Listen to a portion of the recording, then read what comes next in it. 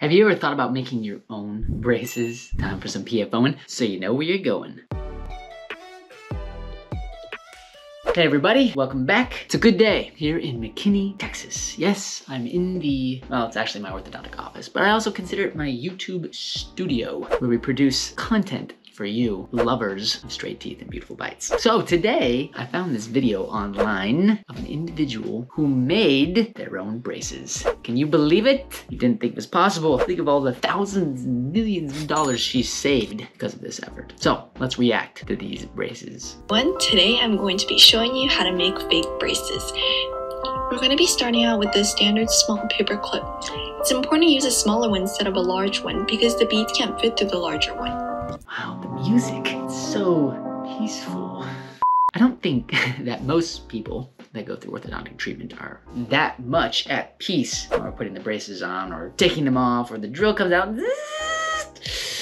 But I appreciate that. Standard paperclip. Okay, you can do a lot of things with a standard clip paperclip. I didn't know that you could make fake braces with them. That's impressive. Very ingenuity. Or if you can keep a paperclip on hand, like in Penguins of Madagascar, it can definitely come in handy. Here, I've taken a paper clip and unfolded it into a U shape.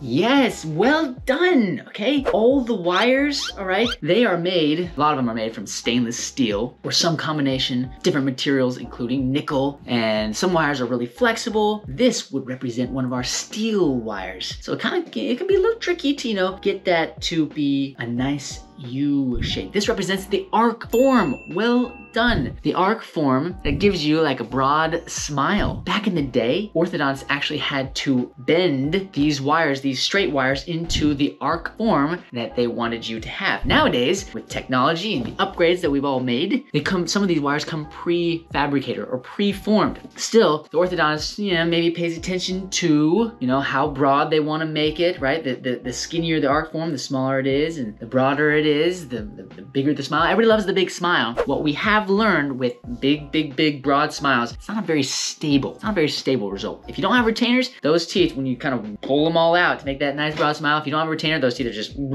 collapse, probably. But well done here. Good technique or Check good to eye. see that the paperclip fits comfortably in your mouth.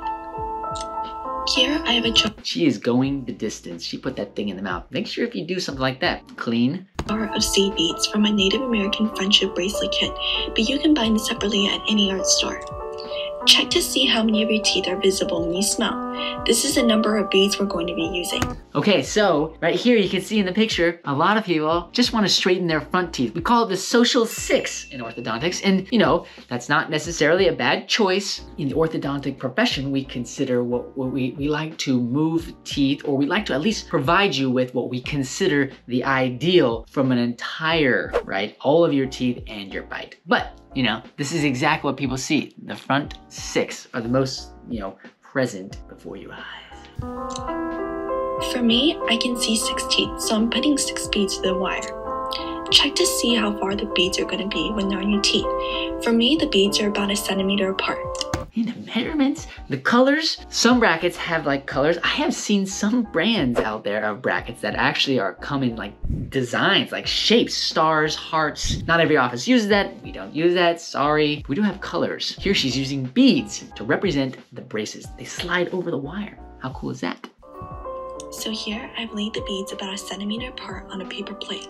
And now we're going to take a non-toxic super glue and use it to glue the beads onto the wire. And Don't worry guys, super glue won't break down in your mouth for 3 to 4 weeks. And since we're only going to be using this for Halloween, we should be fine. Okay, it comes out. We're making the fake braces for Halloween. She's using super glue. I'm glad she mentioned that it's non-toxic. Well, obviously, if you know do too much and it's there too long, lots of different things can be bad for your body. So just, you know, be careful. If you're a young child watching this, make sure you talk to your mom and dad before you do anything or you put anything in your mouth that you're not sure about. Apply this generously all over the beads. Make sure the beads don't get stuck on the plate though. In orthodontics, right, when you come see us, each bracket, okay, in this case represented by a bead, the way that we get it to, we actually don't stick it to the wire, okay? The brackets don't stick to the wire, or they're not glued to the wire, because we change the wires, right? That's how you get your teeth to move more and more and more and more, right? You start with a really flexible wire, and then as your teeth straighten out, you can get a straighter wire that's more rigid to help us control and put little twists and bends in them. It's so fun. So what we do is we actually glue the bracket to your teeth. We don't use super glue, all right? Use another type of adhesive. There's a really famous company, not that you care, but in case you do, Reliance is an excellent company that produces adhesive products that allow us to glue bands or brackets to the teeth. And then at the very end, it is not a permanent adhesive, so you can pop that off. Wait a few minutes for the super glue to dry. Even her plate is so like, you know, just peaceful flowers. The colors are awesome. This is starting to look really good. Okay, this is gonna sound kind of weird, but scratch off the extra glue on the wire. I don't think that's weird. Even though this is non-toxic glue, we still want to scratch it off to be on the safe side. Besides, you want your wires to look really clean. I agree with this. Cleanliness is important, all right? With braces, your teeth can get really dirty and make it hard to clean. You have got to keep your braces clean if you want to avoid puffy, bloody red gums. Using a pair of pliers, we're going to be bending the ends of the wire up into an L shape. Those are some heavy duty pliers. We don't use those. we use orthodontic specific pliers, but they're very close to that, all right? And in case you have an emergency, I'm sure there are many of you out there who have had wires poking you and things like that, and you busted out the at-home pliers and you kind of, you know, work it back into a better position. So it's not crazy. This is so that when we wear the braces, we won't cut our mouth. Yes, wires can cut you, poke you. That is one of the advantages to the Invisalign system. There's not a lot of poking going on there. All right, I'm just gonna, you know, this young lady is doing an awesome job. I am gonna point out that if you are trying to bend, you, as you learn in ortho school, you actually hold the pliers still and you use your thumbs to bend the wire around where the plier is gripping. In this case, she's using the plier, holding the wire and using the plier to kind of like twist things around. But you know what, for not going to ortho school, not bad, it's pretty good bend.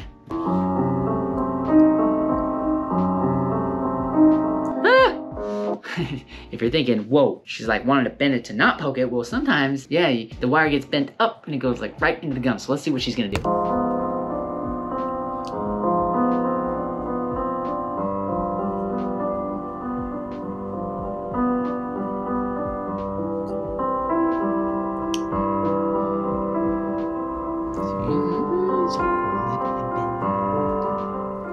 Now we're going to be taking part of the wire that's stuck up and bend it back down to make it kind of look like a swan's neck. A swan, a swan's neck. Actually, what she's doing right now, she's trying to create a loop. So yeah, she bent it up and you're like, oh my gosh, it's gonna poke me. Well, yeah, you don't wanna leave it too high. If it's, if it's, if it bends up and it's really short, usually it's around the bracket so much that it, it doesn't bother you. But if it's like way up high, long like that, as you all know, wires feel so good when they're poking into your gum. Anyways, she's bending a loop. Looks kind of like a swan's neck. She bent it up and then she's gonna bend it back down. Keep pressing down and be patient.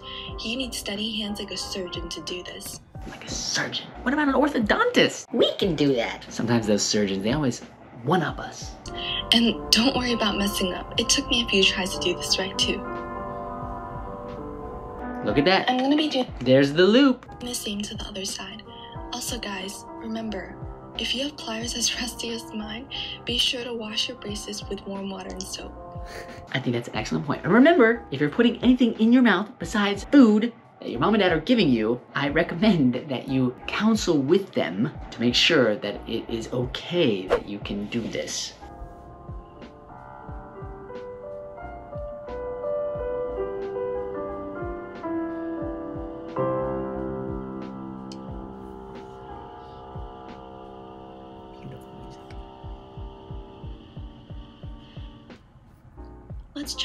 Time to make sure that it fits well.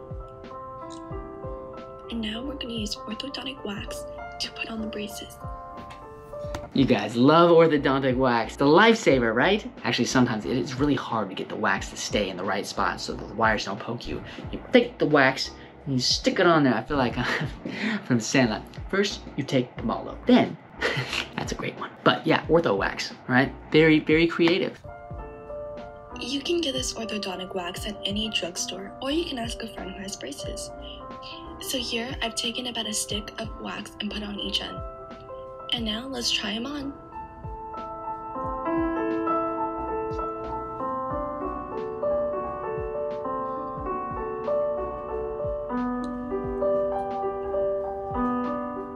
And now we're done.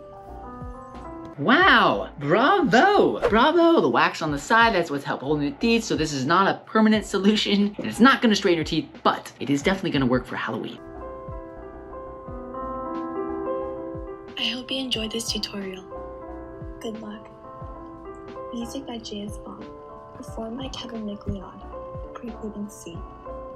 There you have it. That's how you, or at least one way, can make fake braces. Again, it's not gonna not gonna fix your teeth, but it's gonna be great for Halloween. So if you're interested in the real deal, braces, Invisalign, straighten your teeth, beautify your bites, come find us in McKinney Anna, Texas, so that we can talk about the different colors that we have and how it all work out. Thanks again to this young lady. She did an excellent job with the tutorial. Fine bending skills, very colorful fake braces. I hope she had fun. Hey, if you like this video, give us a thumbs up. Consider subscribing to the channel so that we can open your eyes to the wonderful world of straight teeth and beautiful bites. That's all I've got, just a little PFOing, so you know where you're going. Packard.